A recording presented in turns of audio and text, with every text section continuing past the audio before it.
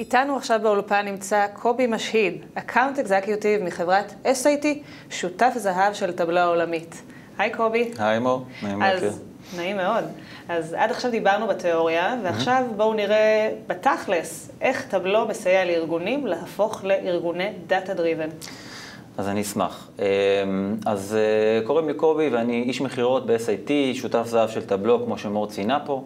בין היתר אנחנו מוכרים גם מוצרים בכל העולם, ואנחנו ארגון שהוא Data Driven, שיש לזה המון המון משמעויות שאתם תראו בדיוק אותם היום. אחת מהן היא שכשאני מקבל שאלה מהמנהל האזורי שלי, אני מקבל אותה מחוברת ישירות לדשבורד. וכשאני לוחץ על דשבורד, אה, אני רואה בדיוק מה אמיר מבקש ממני. הוא כותב לי, היי hey, קובי, נא לשים לב לרווחיות בקטגוריות שסימנתי. בואו נכניס אתכם ואת מור גם פה קצת לסיפור.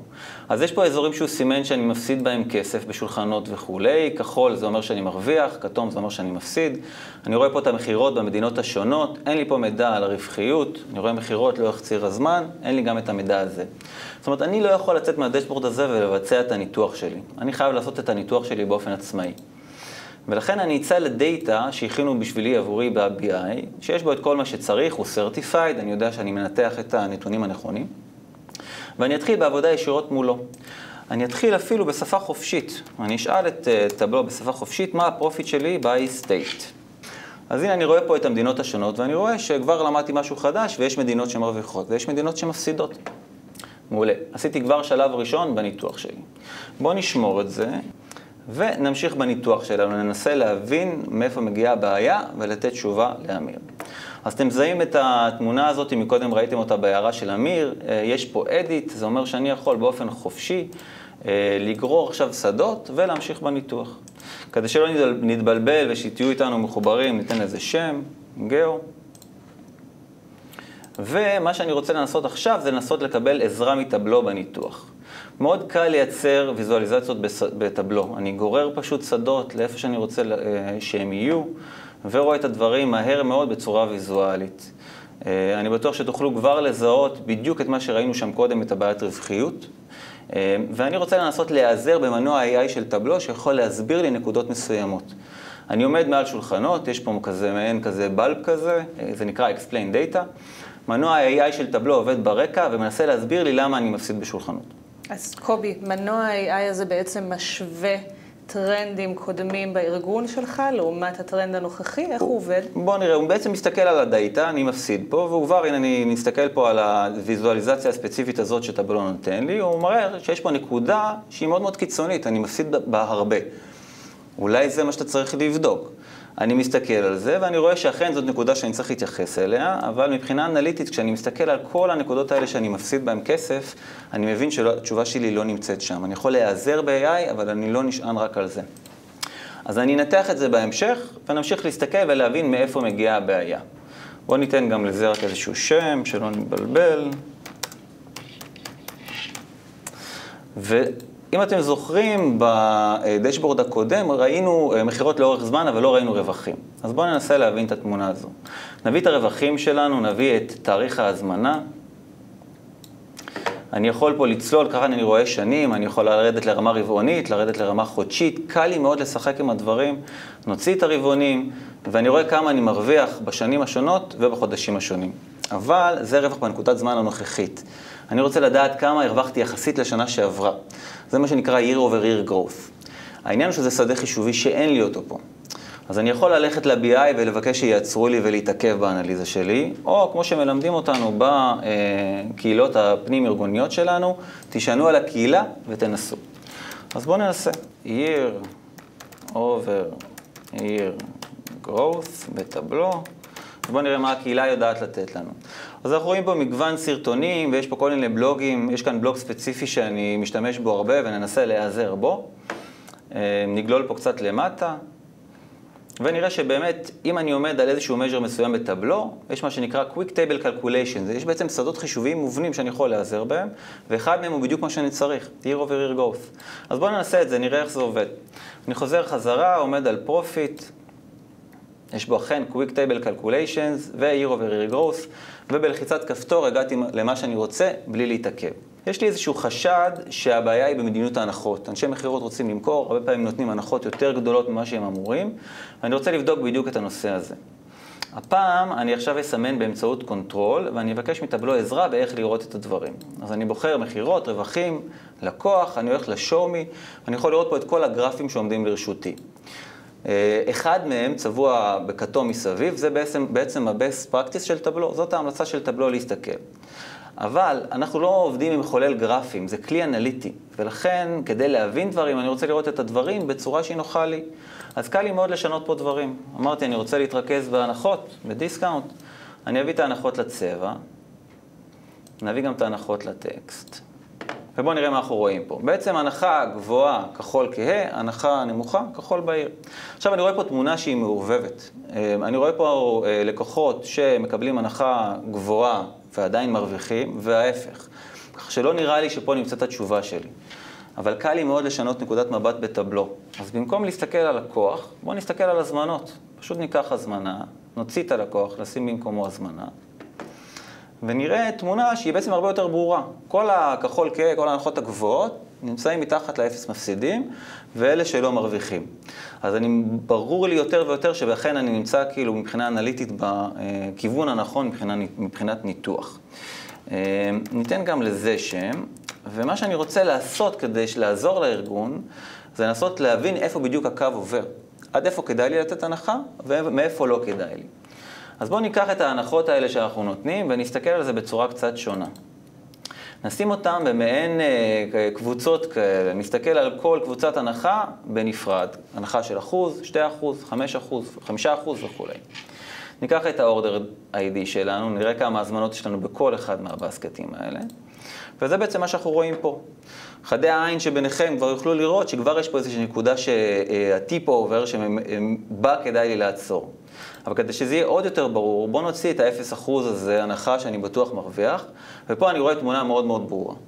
עד 20% הנחה, אני מעורר מכירות ושומר על רווחים, מעבר ל-20% הנחה, אמור, אנחנו מתחילים להפסיד. אמ, אני אקח את כל האלמנטים הוויזואליים האלה ואני אחבר אותם לאיזשהו אה, דשבורד אחד, טבלו אינטראקטיבי, ונראה איך אנחנו יכולים עם דשבורד אחד בעצם לשאול המון המון המון שאלות. כל מה שאני צריך לעשות זה לקחת את כל מה שיצרתי עד עכשיו, ולשים אותו אחד ליד השני, לשים אותם אחד ליד השני. נעיף מה שמפריע לנו, שפחות רלוונטי, וכדי לייצר אינטר... אינטראקטיביות בטבלו, זה ברמת הטוגל. אני עומד על כל אחת מהוויזואליזציות והופך אותה כפילטר לאחרת. כלומר, עכשיו, דשבורד אחד מתקשר עם הדשבורד האחר. כל החלקים של הדשבורד מדברים אחד עם השני. אם לדבר, אני לדוגמה לוחץ כרגע על שולחנות, אז אני אראה עכשיו את כל המדינות שרלוונטיות רק לשולחנות, ואת כל קבוצות ההנחה שרלוונטיים אך ורק לשולחנות. ואני רואה באמת שיש פה מדינות שאני מרוויח, מדינות שאני מפסיד. אם אני עומד רק על טקסס שהיא כתומה, אני רואה שלמעשה בטקסס ההנחה המינימלית בשולחנות היא 23% ומעלה.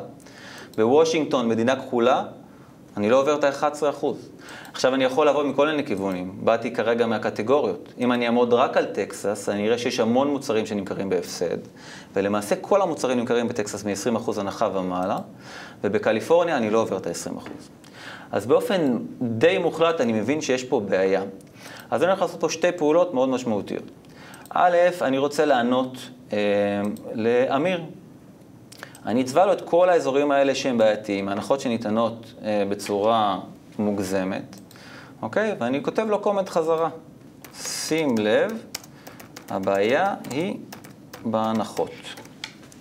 קיבלתי שאלה מבוססת דאטה, עניתי תשובה מבוססת דאטה. זאת פעולה ראשונה. דבר שני שאני רוצה לעשות, אני רוצה שכל פעם שיוצאת הזמנה בהפסד, שהארגון ידע מזה באותו רגע ויגיב. לצורך העניין, אה, קיים בטבלו מנגנון שנקרא אלרטים ואני אשתמש בו. אז אני מגדיר לטבלו, כמשתמש עסקי, שימו לב, בכל פעם שיש הזמנה שהיא מתחת לאפס, כלומר שאני מפסיד בכסף, אני כותב הזמנה בהפסד, מכתב את אמיר,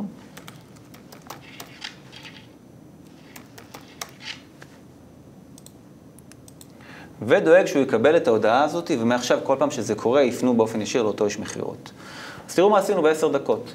קיבלתי שאלה מבוססת דאטה, עשיתי ניתוח כמשתמש עסקי באופן עצמאי, אמ, הגעתי למסקנה ודאגתי שלמסקנה הזאת יהיו השלכות. הארגון חייב להגיב ולתקן את מה שעשינו. זה מה שנקרא Data Driven Organizations. ואת זה SAT תשמח לעזור לכם אה, לעשות בסיוע של כלי מדהים כמו טבלו. יפה, קובי, תודה רבה לך על דמו מצוין, ומבחינתי ה take הכי חשוב מההדגמה הזאת, היא שאיך גם בלי להיות data scientist, בלי להיות בעל תואר בניתוח מערכות מידע או איזשהו מומחה BI, גם משתמש קצה עד אחרון המשתמשים העסקיים יכולים להגיע לניתוחים ולתובנות כאלה מדויקים. תודה. זאת הבשורה, שמחנו מאוד להיות פה. תודה רבה.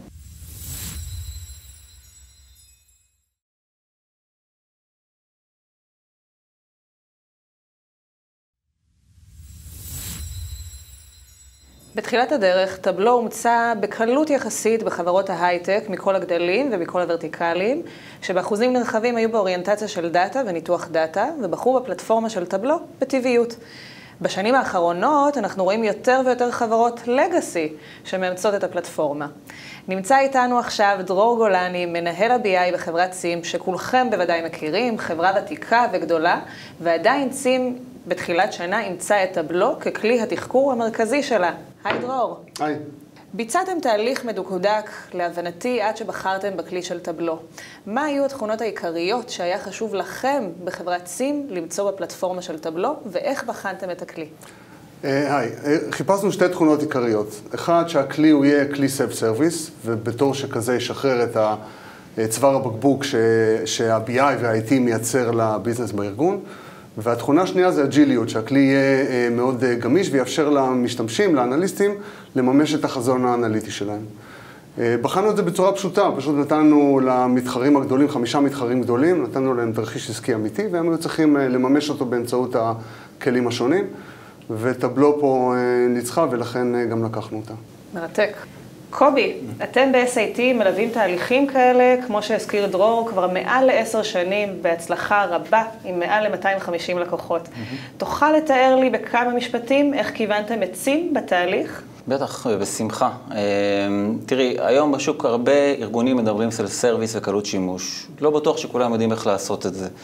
בסוף הרבה מאוד פעמים מייצרים תהליך שבו אתה בוחן את הספק, בוחן את היכולת שלו לעשות דמו, בוחן את היתרונות שלו, את החסרונות שלו, ולא את הכלי עצמו. מה שדרור תיאר פה זה תהליך מדמה מציאות. אתה נותן לאנליסטים את הכלי בידיים, מקבל מהם את הפידבק, האם קל להם, האם קשה להם, האם הם חוסכים זמן באנליזה וכולי וכולי. ובסוף אתה מקבל אפילו תשובות יותר רחבות ממה שכיוונת בהתחלה. אה, אתה לומד כמה זמן לוקח להקים את הפרויקט, לומד כמה זמן לוקח אה, ללמד משתמשים חדשים, וכל זה דברים מאוד מאוד חשובים בסוף להחלטה הסופית. מעניין מאוד. דרור, אז מה בעצם היה הטריגר שגרם לכם בצי"ם לצאת למסע של חיפוש אחרי כלי דאטה? בראש ובראשונה time to market, אה, כמה מהר אנחנו מאפשרים לאנליסטים להגיב לשינויים שמתרחשים בארגון, והם מתרחשים מאוד מהר. אה, מה שעשינו בעצם זה בנינו אה, ספריות של דאטה, בנינו סופרמרקט של מידע, ואנחנו מאפשרים לאנליסט לקחת את העגלה, לעבור במסדרונות, לשים את הדאטה שהוא מעוניין לשים בעגלה, וללכת ולייצר את, ה, אה, את האנליזות שלו עבור ה business unit שהוא שייך אליו. אני אתן דוגמה מאוד קטנה, יש לנו ישות מרכזית שנקראת נמל. business unit אחד רוצה לקבץ נמלים לפי לוגיקה אחת, ו business unit אחר צריך לקבץ לפי לוגיקה אחרת. אנחנו כגוף BI מרכזי לא יכולים אה, לממש את הרצון של כל יחידה עסקית, וכלי כמו טבלו מאפשר לעשות ביזור של הרצונות האלה אה, ולעשות את זה בצורה הרבה יותר מהירה אה, ולשרת את הביזנס על ידי כך. יפה, אבל לפי מה שאני מבינה, לפי מה שלמדנו מהתהליך שלכם, זה כבר היה קיים קודם. אז זה נכון שהביזנס שה, לא מחכה, ברגע שנוצר ואקום, הוואקום הזה מתמלא מיד, וכמו ברוב הארגונים הוא מתמלא על ידי אקסלים. האנליסטים בונים אקסלים מאוד גדולים ומורכבים, אה, אה, שואבים את הדאטה מתוך, ה, מתוך מערך ה-BI הקיים, בתדירות שהם מסוגלים, ובונים את האנליזות ומפזרים אותם אה, בתוך הארגון. ואיפה הבעיה? או, אז יש פה כמה בעיות. בעיה ראשונה זה העדכניות של הדאטה. הם לא מסוגלים לעדכן את הדאטה כמו שגוף ה-BI יכול לעדכן את זה עבורם, ברמה יומית ואפילו ברמה של יותר מפעם ביום. אין בקרה לדאטה. אין משילות על הדאטה. אה, יש פה בעיות של אבטחת מידע, כי יש פה אקסלים שמסתובבים ברחבי הארגון. והדבר האחרון זה הרשאות. אני רוצה לוודא שבאמת מי שמורשה לראות מידע מסוים אכן רואה אותו, וכלי כמו טבלו מאפשר לי את הבקרה הזו. תודה, דרור. קובי, ליוויתם מאות תהליכים כאלה ב-SAT. התמונה הזאת שדרור הציג מוכרת לך? כן, בוודאי, אנחנו רואים את זה הרבה. אמ, האמת שאפילו כשאתה מדבר עם חברות שאומרות מראש, אנחנו לא רוצים self service, לא מחפשים את הגמישות הזאת, אתה בא ואתה שואל את השאלות, ומהר מאוד אתה מגיע בדיוק לנקודה הזו. אתה רואה שאנשים משתמשים באקסל, הם עושים self service בדיוק כמו שהם אומרים שהם אולי הם לא רוצים. אה, אבל מחוץ למטריה של ה-IT, דרור ציין את כל הבעיות שיש בזה, עניינים של אבטחה. יש דוגמאות נוספות, כמו אובדן ידע ארגוני, אנשים שמחזיקים המון ידע אצלם. בעצם יש פה המון המון כסף שזולג מבין האצבעות של הארגון. אז קובי, תוכל לספר לנו על שלב הפרויקט אחרי הבחירה? איך אתם ב-SAT ליוויתם לקוח כמו צים ספנות בשלב היישום? אה, אנחנו עושים את זה כבר עשר שנים. כמו שציינו, יש לנו המון המון אה, לקוחות, ויש לנו המון המון אנשים שמבינים בדיוק את ה business הזה. בסוף, יש פה המון היבטים. אז ליווינו את צים אה, עם אנשי data, עם אנשי ויזואליזציה, עם אנשים תהליכיים, עם אנשי ארכיטקטורה, אבטחת מידע, שכל הזמן מתייעצים ומנסים למצוא את הדרך הכי טובה. בסוף, מה שדרור מתאר פה זה שינוי תפיסה. וכשאתה בא ואתה מעביר שליטה מה-BI, מעביר אותו לביזנס, שינוי תפיסה כזה, אנחנו מכירים אותו, נושמים אותו, כי זה בעצם הלב והמהות של טבלו, אה, וזה הידע שאנחנו מביאים לשולחן כדי להביא את הפרויקט לנמל מבטחים. מדהים. דרור, בואו נדבר קצת מספרים. 300 משתמשים תוך שבעה חודשים, 800 משתמשים לטווח הקרוב כאופציה לגדילה. כשמדברים על סקיילביליות ועוד בחברת ספנות, זה מספרים באמת יוצאי דופן. איך אתה מסביר? בתפיסה שלי זה לא יוצא דופן, זה אפילו מעט מדי ומאוחר מדי מבחינתי, הלוואי וזה היה כבר אה, קודם. הקליטה של הכלי היא מאוד מהירה, יש פה חיבור טוב של אנליסטים שהם מאוד מקצועיים, הם אוהבים את הכלי, מתחברים אליו, יש יותר ויותר בקשות, זה עובר בארגון כמו אש בשדה קוצים. נוסיף לזה את, ה, את SID שהם באמת אה, חבורה מאוד מקצוענית שעוזרת לנו. דרור, אתם נשמעים יותר כמו חברת data ולא כמו חברת מטענים, אז איזה impact יש לתהליך של הקליטה של הכלי של Tableau על ה business? בראש ובראשונה קיצור של אה, תהליך קבלת ההחלטות. המנהלים יכולים לקבל החלטות מדויקות יותר וחכמות, בעיקר חכמות יותר, ולהתרכז במילוי האוניות במטען הנכון שיביא לרווחיות גדולה יותר, מאשר סתם למלא אותו במטענים, כמו שהיה בעבר הרחוק. היום הארגון הוא ארגון הרבה יותר חכם. תודה רבה דרור, תודה רבה שבאתם, תודה רבה קובי. תודה רבה לך.